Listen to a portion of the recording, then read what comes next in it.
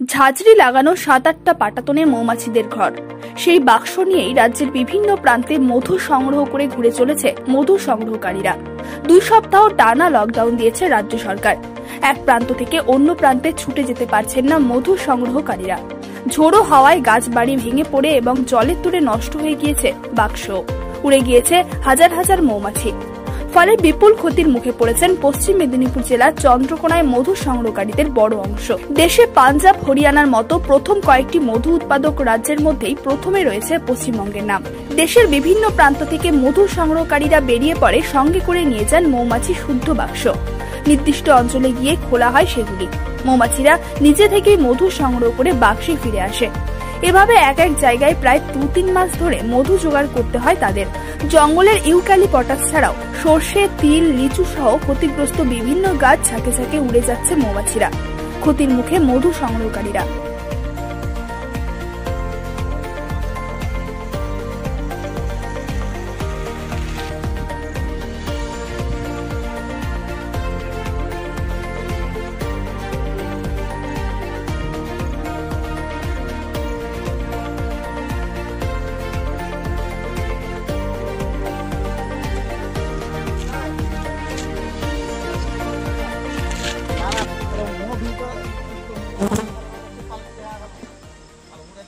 না, এখন তো আমরা যে মালদা থেকে এখানে এসছি ক্ষীরপায়ে যে এসছি, আমাদের এখানে এসে এই বছর লস হ্যাঁ এই বছর ঝড় বৃষ্টিটা বেশি আছে, মধু আমাদের সাত দিন আগে মধুটা হয়ে গেছিল, এই যে ঝড় বৃষ্টির কারণে আবার মধুটা মাছি খেয়ে ফেলেছে। তারপরে এবার মধুটা যে এখন ভাঙা ভাঙা দেবো, এবার দুদিন আগে আবার ঝড় হলো, সেই মধুটাও খেয়ে ফেলেছে। এখানে অন্তত দুবার মধু বের করা হয় এখন এক একবারই শেষ হয়নি এ- একবার মধু ভাঙা চলছে এখন এই যে ঝড় বৃষ্টিতে গা- গা- গাছপালা ভেঙে গেছে ওই যে এখন ওখানে গাছের ডাল পড়া আছে বাক্স ক্ষয়ক্ষতি হচ্ছে মাছগুলো নষ্ট হয়ে যাচ্ছে। পশ্চিম মেদিনীপুর জেলা থেকে কল্যাণ মণ্ডলের রিপোর্ট চব্বিশ ঘণ্টা লাইভ। নৈহাটির গৌরীপুর চৌমাথা আলোকিত করছে সমস্ত রকম প্রয়োজনীয় সম্ভারের সেরা প্রতিষ্ঠান কেশরী লাইট হাউস ঘোষপাড়া রোডের উপর অবস্থিত এই কেশরী লাইট হাউসে আপনি একদম সুলভ মূল্যে পেয়ে যাবেন সমস্ত রকম ব্র্যান্ডের মোবাইল ফোন ও অ্যাসেসরিজ,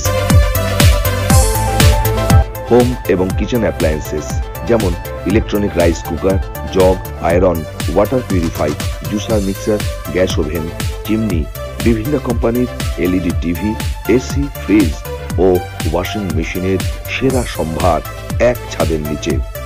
এখানে কেনাকাটা করলে থাকছে অরিজিনাল প্রোডাক্টের গ্যারান্টি উচিত মূল্য ডিসকাউন্ট ও অফার সমস্ত রকম কিস্তির সুবিধে। সর্বোপরি শোরুমে এবং বাড়িতেও গিয়ে সার্ভিসিং এর সুবিধে।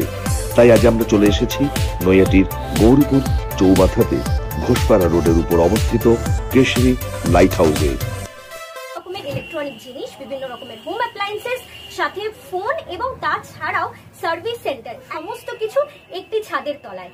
এখানে আসলে আমরা কি কি ইলেকট্রনিক জিনিস পাবো কি কি হোম অ্যাপ্লায়েন্সেস পাবো কি কি ডিসকাউন্টস পাবো সমস্ত কিছু আজকে জানব কেসরি লাইট হাউসের কর্ণধার রঞ্জন কেসরি যিনি আগে রঞ্জন নমস্কার।